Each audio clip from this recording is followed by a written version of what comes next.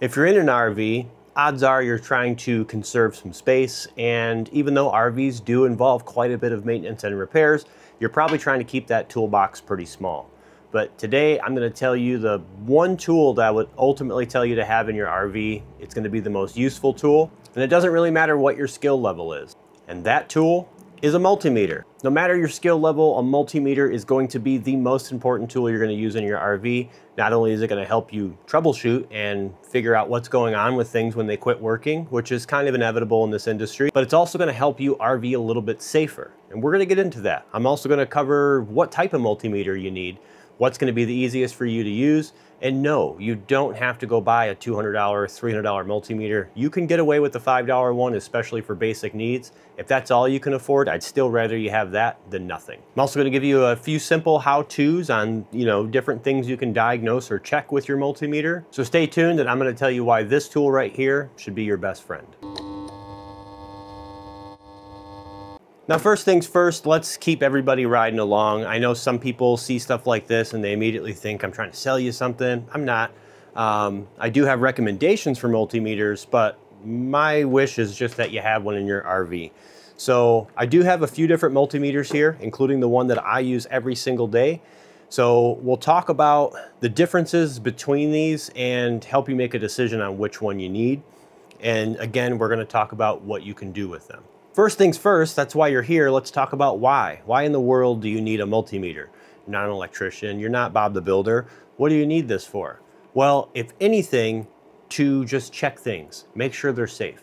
I often talk about how low and high voltages when you're plugged in at the campground can damage many things in your RV. They can also be dangerous. So number one, just being able to check things. You know, you don't, even if you have a guy, you love a service center or you got a mobile guy, that comes out and does all your repairs and you're fine with that, they can't always be there. So sometimes you just have to verify something is safe to plug into or you're getting the proper voltage in your RV or the proper charge is making it to your battery. You can do all of that very simply with a multimeter. Now every multimeter is going to be a little bit different as far as its features and how it does things, but all of them do the same thing. They check for voltage, which is the most common thing you're gonna be doing. But even some simple repairs and troubleshooting in your RV, it's a lot simpler than you think it is. So stick around and I'm gonna show you. First things first, we're gonna talk about the differences between all these meters, right? Do, you need this $125 meter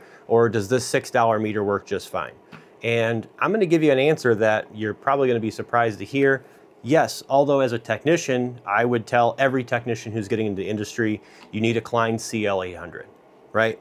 Um, it does the basics, it does voltage, it can check for continuity, it reads amps, but there's a big thing that this one does differently than a lot of these meters do, and that is having an amp clamp. Now, when you're getting deep into troubleshooting and trying to figure things out, an amp clamp is going to be super beneficial. I can take this, wrap it around a cable, and I can see how much amperage is moving through it without ever disconnecting anything. The main reason I tell you the Klein CL800 is the creme de la creme is a lot of these meters do have an amp clamp, but they only do AC amps. This does DC amps, and working with big battery banks and hydraulic systems in RVs, being able to see the amperage on a DC circuit is super important. Another big feature that you're going to find on a lot of Klein multimeters is low Z. Now low Z is probably whew, right over your head, but as a technician, it's going to help you identify electrical faults that might you might get fooled by this one here. But if you're a technician or your electrical skills are up there a little bit, Klein CL800. But again, I'm not here to sell you the biggest and the baddest because odds are you don't really need it for the basic stuff. Now, if you've been around my channel for a little bit, you know that the one that I recommend to RV owners is going to be the Klein MM450. Um, this one I actually do have on my Amazon storefront by the end of this video if you're convinced you need a multimeter as well. This is the one I'd recommend to you. It's very affordable. Made by Klein still, so it's a company with a good reputation in this industry, the electrical industry. It has very big, easy to read numbers, but most of all, it is auto ranging. Let's talk about auto ranging. And there's a lot of debate on whether auto ranging is good or bad for somebody who's a newbie, but hopefully I can help you with that a little bit. So I want you to take a close look at this cheap, like $6 Harbor Freight multimeter. and this roughly 40 to $50 multimeter. One, you can see the readouts are completely different. I don't know if the camera's picking up that readout very well. I know it does it at a certain angle, so I'll move it a little bit, make sure you can pick that up on the camera. But outside of the screen size, look at the dial where your settings are. And I want you to notice this has a lot more different settings, right? This one does not. This one just has, say, volts here, which is the most common thing you're going to use is checking for volts. But if you look over here, you have DC volts, and there's like five or six different settings. AC voltage, there's two different settings. It, it can get a little confusing if you're not familiar. Now, auto ranging means you're going to turn it on volts. You're going to select whether or not you're doing AC or DC volts, and it is going to auto range. It is going to automatically determine the range. That is what these numbers are, is the range. So if you're checking for DC volts, let's say like a battery, you're going to set it to 20, meaning you're looking for under 20 volts, or if you're looking for under 200 or under 250. It can get really confusing when you're looking at it that way, and sometimes people can get a little thrown off. But I will tell you an auto ranging multimeter, which the reason we're talking so much about this is this is a big deciding factor is you'll see meters that claim they're auto ranging or non-auto ranging. Auto ranging meters can be just as confusing, and that is because of that decimal.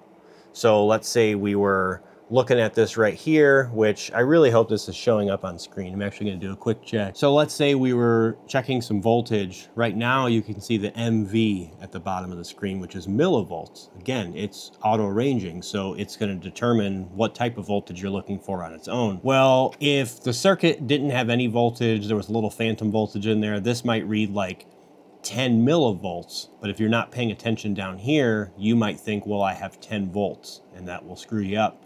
So with an auto ranging meter, you just need to pay close attention to where the decimal is and whether it's saying volts, millivolts, or anything like that. That is where these can uh, sometimes trick you. But again, once you know that little tidbit of information, just be aware that when you're checking for voltage, whether it be AC or DC, you have to make sure it doesn't say millivolts at the bottom. You know, again, if you're checking AC voltage, you're looking for 120 volts. Well, if it's at 108 millivolts, you might, you know, get a little confused. But again, just pay attention to where that volts uh, logo is at the bottom or millivolts and make sure that you're actually reading a good you know, say on a battery, a good 12 volts, or on an AC circuit, a good 120 volts. Now, another nice thing, uh, kind of in the auto ranging category that this meter does that you won't find on cheaper meters, is on all multimeters, you'll actually see multiple ports that your leads, which are the wires that come off of it, um, you'll, you'll see where there's multiple points that those can connect. And these both look the same. There's three. Now, if you're going to read amps, you might have to switch it, or ohms, you might have to change the configuration of where the cables go. But let me show you something that this meter does that no other meter does. If you're ever confused about that and you're starting to learn new things, let's say we go to voltage. See those two green lights right there? It's telling me where my leads need to connect. So I know my red one's going to go to that one, and my black one is going to go to that one, right? So if we unplug that, let's say we're to check for continuity. It's to do the same thing and show you and as you change through settings, it's going to change how it does. Now, this is where it's to change when we go to check amperage. It's to show you, now my black lead needs to go here, and my red lead needs to go here. This is like a, almost a dummy-proof multimeter, which is why I recommend this one so often. And then you can actually go super old school and bare bones, and you can get an analog multimeter. You can pick one of these things up for like five bucks sometimes. And I'll tell you, you probably don't want this one unless you're an experienced technician. As you can see, you got a graph with a bunch of different numbers all over the place. This can get really confusing to somebody who's, especially who's learning or just trying to see some basic stuff.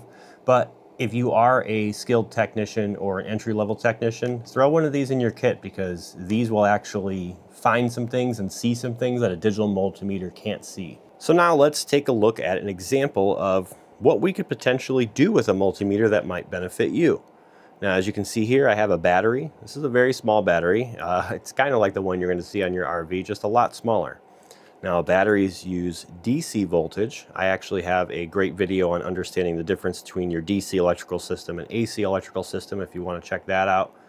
So we know a battery is DC, so we'll go to our meter here, and then I'm simply going to press my select button here, And as you can see, it went to DC volts. From there, now we can verify. If we're having 12 volt issues, we can see what our battery's got. And this battery has got uh, 3.5 volts, which is not good. Again, just get a good contact there. 3.584. Now see that decimal there? That's where some of these digital meters might mess you up. You're looking at 3584. There's no way I have 3,584. No, it is 3.584. So there's one check alone that you can do with these things. Or let's say one of your outlets in your RV is acting up or not working at all. You can verify that there's power to that outlet and that it's not the device. Again, we go to voltage, go to AC voltage right there. We're checking for AC. We're going to turn this thing on so that there's actually power going to those outlets. And then we can probe these and verify if there is in fact power. But you can see we have 119.6 volts coming out of there. Again, pay attention to that decimal right there. It's 119.6. This is not 1,196. I'm going to keep mentioning that because again, these multimeters, uh, the auto ranging ones, especially when they keep moving the decimal around or going to millivolts, can really trick you. Now let's say that outlet we just checked had the converter plugged into it. We know that there's power going to that outlet, which means we should have power coming to this converter, but our battery's not charging. You can use that same meter and you can come over here, set it to DC volts, and we can go to the positive and negative terminals on the converter and we can verify what do we have coming out of the converter? We have 14.74 volts coming out of here which means two things. One, this converter is just fine, and two, this converter needs to be adjusted to lower the voltage. This is brand new out of the box, hasn't even been installed yet, so hasn't been adjusted yet. But say you were replacing the converter, and some of these do have adjustable voltage, depending on if you have lithium or lead acid, you would need a multimeter to properly get on here and check what that voltage is so that you can sit there and fine tune that screw until you get to about 13.5 for a lead acid battery. But using a multimeter isn't just about voltage. Although it might be the most common thing that you're checking in the RV, you know, again, just checking to make sure you have safe voltages. Um, when you get to a campground, you could actually check your pedestal like this one. You can go to your plugs and you can check them and make sure the proper voltage is there before you even plug in. You should be using a surge protector for that. But let's say you're one of the people that don't like using one of those. At very minimum, you could be checking to make sure that they don't have uh, any crazy voltages there. But a multimeter can check for more than just voltage. I'm gonna grab this switch here as an example. This is uh, your typical everyday run-of-the-mill light switch or fan switch for an RV. And you know, let's say lights aren't turning on. You know the fuse is good and power should be making it to the light, but you got to check a few things. You have to check the light. You can make sure voltage is making it to the light. If voltage is not making it to the light, well, you might have a bad switch. Let me show you how you can check a switch with a multimeter. You can take that same multimeter, again, they have multiple features, and we're gonna go to this little horseshoe feature right here. Usually looks like a horseshoe. That is measuring resistance, uh, sometimes referred to as continuity, and continuity is what we're gonna be looking for here. Now if you see, if I complete the circuit between these two wires, I hope my microphone's picking that up and the noise canceling isn't chopping it out, but there's, it's making a beeping noise when I have continuity, right? Or I can also see those numbers changing slightly, but I do have continuity. When it's open, it will read OL. When there's continuity, you'll see some form of resistance there. You want it to be low, hopefully. But the beep is what you're looking for on a lot of these meters, especially this Klein meter. So in the off position, the switch is not completing the circuit. So the switch is open, as we like to call it. So if I were to get my leads on both probes of that switch, we can hear it's beeping, right? Means it's passing power through, or it's capable of passing power through. If we turn the switch off, that goes away. So, so we know this switch is good. If we were sitting here flipping the switch back and forth and we were not able to get it to beep or read any continuity, we would just know we have a bad switch. Now you could also ground your black lead, negative lead off to a frame or a known ground and you can check for power on both sides of the switch but it's often a lot easier to actually just make sure you have continuity, just like this. Again, this isn't going to quite be a full tutorial on all the different things you can do with your multimeter, although those videos are coming. Um, I'd be happy to show you guys all of the easy troubleshooting you can do with a multimeter. Save yourself a bunch of money. There's a lot of times that you could simply watch a video, whether it be one of mine or any of the other RV space creators out there that are showing you just how simple it is to fix something like a water pump, a furnace, a water heater, but you're missing the one important tool, which is a multimeter. And I say it's the most important tool because a screwdriver, your neighbor might have one of those.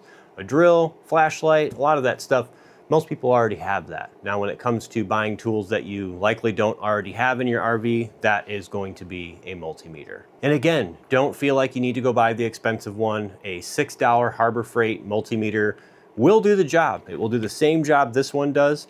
This one just oftentimes becomes less confusing. And let's be honest, it's a little bit more durable than a $6 meter. If you've got the 50 bucks or so to spend, Klein MM450, again, I do have this one on my Amazon storefront if you are interested.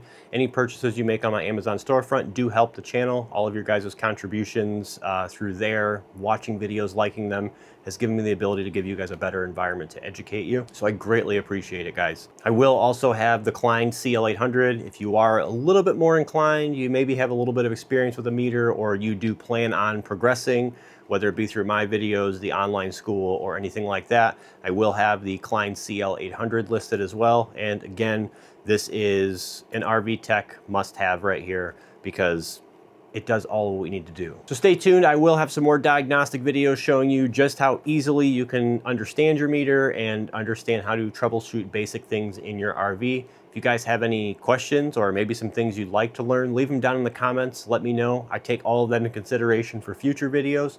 In the meantime, if you want to see some more RV tech tips, tricks, and even some tutorials like this one, make sure you guys press that subscribe button.